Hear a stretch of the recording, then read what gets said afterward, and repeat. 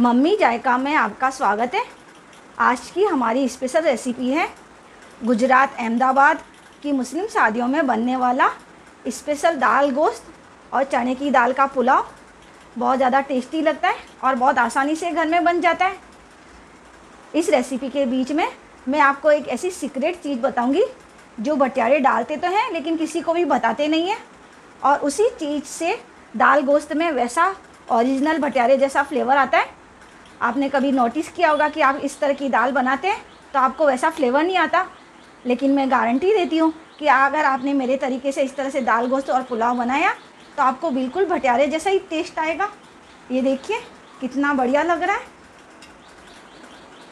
पुलाव के साथ दाल को मिक्स करके और खाएँ। तो चलिए स्टार्ट करते हैं। इसकी सामग्री इस प्रकार है। मटन दाल गोश्त बनाने के लिए सबसे पहले हम गोश्त को गलाएँगे। ये मैंने 250 ग्राम मटन का गोश्त लिया, एक टीस्पून अदरक और लहसुन का पेस्ट लिया, एक टीस्पून नमक है और एक प्याज है, इसको रफली चॉप कर लिया। एक कुकर में इन सबको हम डाल देंगे।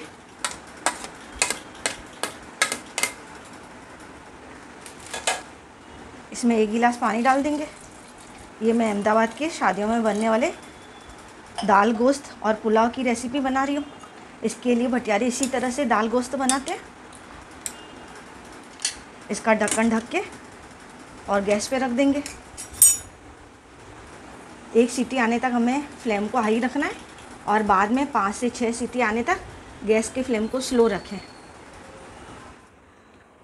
कुकर की पाँच से छः सीटी हो चुकी है और कुकर को भी हमने अपने आप ही ठंडा होने दिया। अब हम इसे चेक करेंगे। ये देखिए, मटन अच्छे से गल चुका है। एक बाउल में ट्रांसफ़र करेंगे। आपको बिल्कुल भटियारे जैसी दाल बनानी हो तो आप मटन चर्बी वाला लें, या फिर उसमें अलग से इस तरह की चर्बी डाल दें। क्योंकि भटियारे जो शादियों में दाल, गोश्त और पुलाव बनाते हैं, उसमें चर्बी ऐड करते हैं, उसी का ही सारा टेस्ट होता है। आप कभी भी भटियारे वाली दाल को फ्रिज में रख के देखें तो आपको पता चल जाएगा। इसके लिए अगर आपको ऐसा टेस्ट चाहिए तो आप चर्बी ज़रूर डालें। मैंने कटोरी को एक बड़े बाउल में ट्रांसफ़र कर दिया। इसके ऊपर हम एक और कटोरी रखेंगे। इसके ऊपर जलता हुआ कोयला डालेंगे। कोयले के बाद थोड़ा सा देसी घी डाल के धुंगार करेंगे। और इसको अच्छे से ढक देंगे। गाढ़ से ही दाल का बहुत बढ़िया टेस्ट आएगा और बिल्कुल भटियारे जैसी दाल लगेगी। ये मैंने 100 ग्राम चने की दाल ली है। वैसे तो शादियों में जो दाल गोश्त बनता है, वो ओरिजिनल चने की दाल का ही बनता है, दूसरी दालों का नहीं बनता है। इसको मैंने तीन से चार घंटे पहले भिगो दिया था, इसका सारा पानी निकाल लिया। अब हम इसमें एक गिलास पानी डालेंगे और इस दाल को एक कुकर में डाल देंगे। इसमें एक छोटी चम्मच नमक डालेंगे।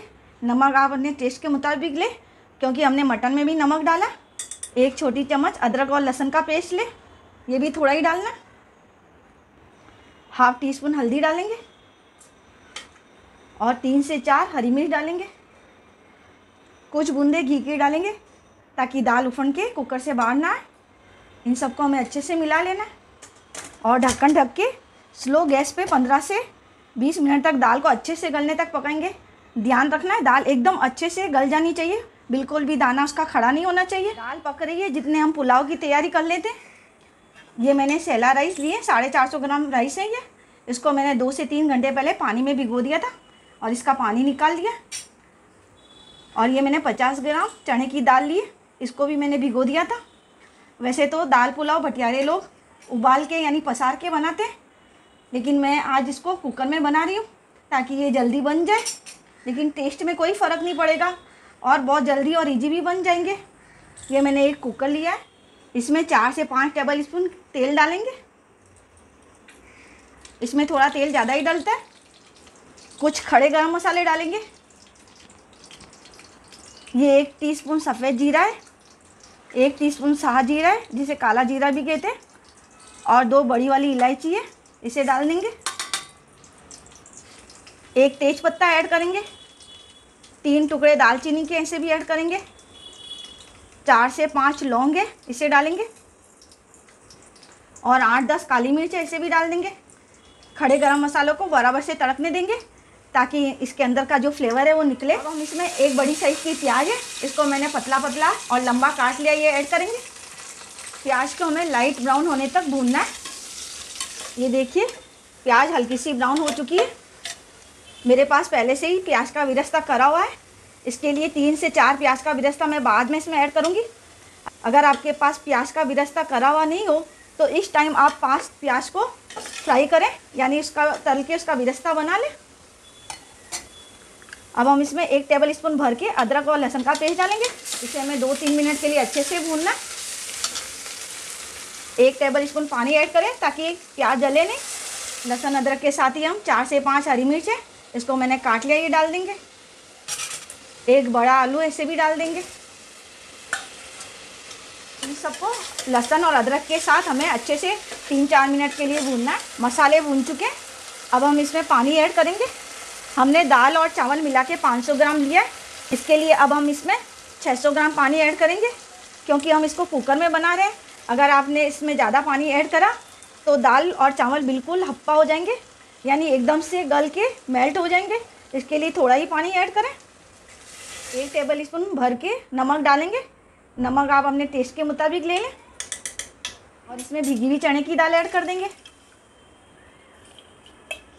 दाल को हम तीन से चार मिनट तक पकाएँगे, क्योंकि हम कुकर में बना रहे हैं और ज़्यादातर दाल, अगर हम चावल के साथ डालते हैं तो वो कच्ची रह जाती है। इसके लिए पहले हम दाल को गलाएँगे। थोड़ी सी गलानी है, तीस से चालीस परसेंट। तीन चार मिनट हो चुके हैं। दाल थोड़ी सी नरम हो चुकी है। अब हम इसमें चावल ऐड करेंगे। इसमें हाफ़ टी स्पून मैजी गरम मसाला ऐड करेंगे। इससे पुलाव में बहुत बढ़िया खुशबू आएगी और बहुत अच्छा टेस्ट भी आएगा। ज़्यादा ना डालें हाफ़ टी स्पून ही डालें। इसको ही बराबर से मिला लेंगे। अब हम इसका ढक्कन ढक के हाई फ्लेम पर एक सीटी आने देंगे। एक सीटी आने के बाद इसका जो प्रेशर है वो निकाल दें, यानी इसकी सारी स्टीम निकाल दें। इसका धुआँ ख़त्म हो चुका है। अब हम इसे गैस पे रखेंगे और कम से कम 10 मिनट तक स्लो फ्लेम पर हम इसे पकाएँगे कि मसालों का सारा फ्लेवर दाल और चावल के अंदर आ जाए। ये देखिए, दाल अच्छे से गल चुकी है। इसको हम अच्छे से घोटनी से घोटेंगे हमें दाल को इतना घोटना है कि हमें पता भी ना चले कि दाल किस चीज़ की है। यानी इसमें कोई भी कड़ी या अक्खी दाल नहीं रहनी चाहिए। ये देखिए, दाल अच्छे से घुट गई है। अब हम इसमें गोश्त ऐड करेंगे। एक कप जितना पानी डालेंगे। इनको हमें अच्छे से मिला लेना। मैंने आपको शुरू में बताया था कि बटियारे जैसी दाल गोश्त बनाने के लिए मैं आपको एक ख़ास चीज़ बताऊँगी। वो चीज़ है मटन की चर्बी। बटियारे लोग उससे ही डालते हैं, मटन की चर्बी कोई, लेकिन उसे कभी बताते नहीं हैं। इसके लिए अगर आपको वैसे ही टेस्ट चाहिए तो मटन की चर्बी ज़रूर डालें। गैस का फ्लेम चालू कर दिया और इसको हम दाल के कुकर को गैस के ऊपर रख देंगे। अब हमने दाल में तड़के के लिए ये एक बड़ी साइज़ की प्याज लिए, इसको रफली चॉप कर लिया। बीस से पच्चीस कली लहसुन की है। और एक टीस्पून भर के जीरा है। इन सबको हमें चॉपर में करना है। या आप चाहे तो हमाम दस्ते में भी इसको कूट सकते हैं। ये देखिए, लहसुन, प्याज और जीरे को हमने अच्छे से चॉप कर लिया। ये इतना ही बारीक होना चाहिए। अब हम एक बड़ा टमाटर लेंगे। वैसे तो दो टमाटर लेंगे लेकिन एक को मैं गोल गोल काट के डालूँगी और एक टमाटर को बारीक चॉप करूँगी। देखिए। हमने टमाटर को भी चॉप कर लिया गैस का फ्लेम ऑन कर दिया और इसके ऊपर एक कढ़ाई रखी है।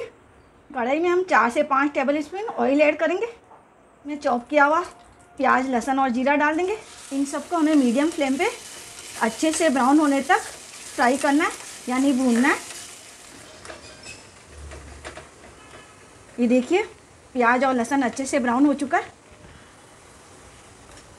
अब हम इसमें टमाटर ऐड करेंगे, जिसको हमने बारीक चॉप कर लिया था वो।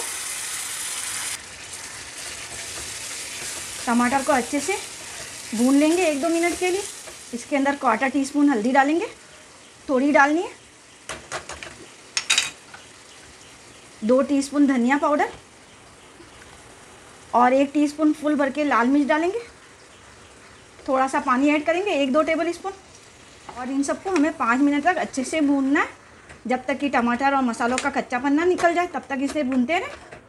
पाँच मिनट हो चुके हैं और मसाला अच्छे से भून चुका है। ये देखिए, मसाले ने तेल छोड़ दिया। ये देखिए, दाल में भी अच्छा सा उबाल आ चुका है। अब हम इसमें ये भुना हुआ मसाला डाल देंगे।